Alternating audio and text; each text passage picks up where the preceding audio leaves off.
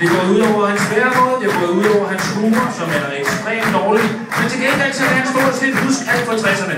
Hvad han lavede i går, det er han ikke skulle ikke skide. Mine damer og herrer, Søren Kopp på guitar. Bino Collins har virkelig, virkelig hygget sig her i aften hos jer i TFB.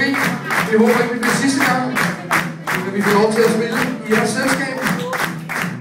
Inden vi går herfra, synes jeg, vi, bil. vi kører herfra. Inden vi kører herfra, så skal vi først og fremmest høre The Mean Piece. Og inden vi gør det, så skal vi lige prøve at sige, hey!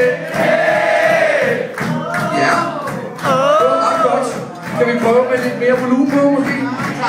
Ja, det kan vi godt. Jeg vil gerne være med. Må I jeg må gerne tage fingrene ud af munden, mine damer og herrer. Jeg er simpelthen med. Du er med. Okay. Jeg med, Søren.